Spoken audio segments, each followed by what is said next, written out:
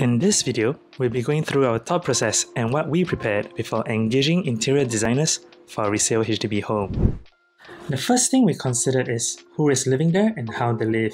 To start, just my wife and I will be living there, but we'd like to have an extra room for guests or an additional family member in the future, and maybe a fur baby. Next is, we thought about how we lived. This was easy for us, as we have stayed in rentals together before. Based on your requirements, the interior designer can plan for safety considerations for children and elderly, or multifunctional spaces if you have space constraints. These are some of the things we shared. We play VR games or exercise games, so we like to have enough space in front of the TV to do that. We work from home a lot, so we need a dedicated space for a home office. We are lazy people, so we want the home to be easy to maintain and clean. We don't do a lot of heavy cooking, but we do cook often, or would like to. An open concept kitchen works for us. What do we own? You want to think about the items that you need to store and the items you want to display and show off. For us, we're trying to be minimalist, so we try not to have a lot of built-in storage space for items. We also don't really have items we want to display except for plants.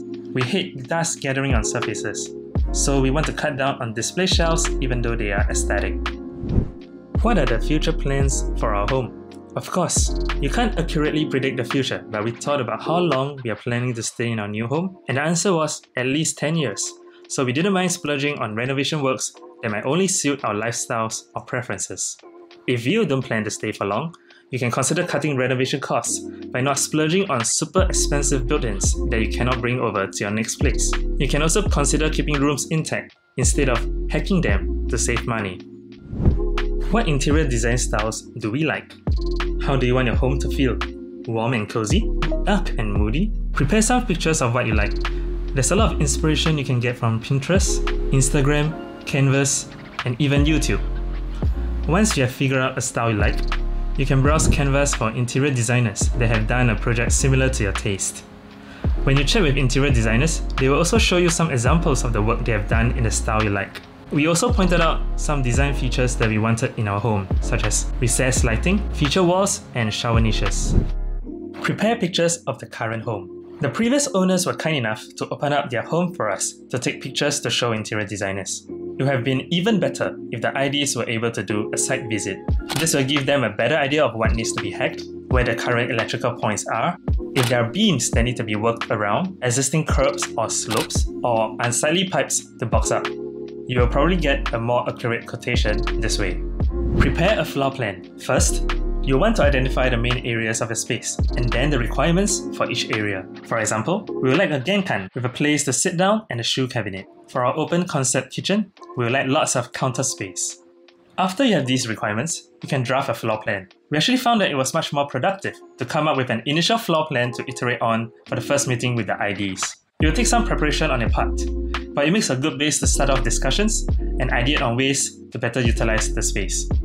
We used HomeByMe to plan our space and even visualize it in 3D. It has more modern and flexible assets that you can use for free compared to other planners such as Planner5D. You can even share the link to your project online so IDs can take a look even before the first meeting. Leave a comment if you'd like us to do a video on how we use HomeByMe to plan our home. Prepare a list of questions you want to ask the interior designer. Here are some of the questions we asked. How to pay the interior design firm. The interior designer will go through their typical terms of payment. You can compare different terms of payments to see if any are suspicious. What are the rough timelines for the project of this scope? Does the interior design firm use its own contractors? Any warranty or insurance? How many 3D designs can be done? Pro tip, if you like the interior designer, you should ask them for pictures of previous projects they have done us to visit their ongoing projects if possible. This will give you a better idea of the quality of their work. One ID even brought us on site to a unit in the same block. The ID will always ask for your budget for the renovation project, so prepare a number. You can use Qanvast renovation calculator to estimate the budget for the project. You also need to think about your budget for electrical works, home appliances, and furniture, as these will not be included in the project quotation. Finally, Put together your full set of requirements, floor plans, and questions in a document to share with the interior designers you're engaging with. We compiled and shared this document with designers before having our first chat with them, and the conversation was much more productive since they would have already a good idea of what we wanted, and we could focus on exploring ideas that would fit our requirements better. I think most IDs gave us a pretty similar quotation, differing by 10k at most, because we were very clear about our requirements. Something we'll try next time is to create presentation slides rather than a long list of requirements. Slides would have been better for IDs to digest and refer to, especially when you share pictures with annotations for what you like or dislike about them. We hope you found this video helpful. Please also leave your tips in the comments below. Thanks for watching till the end!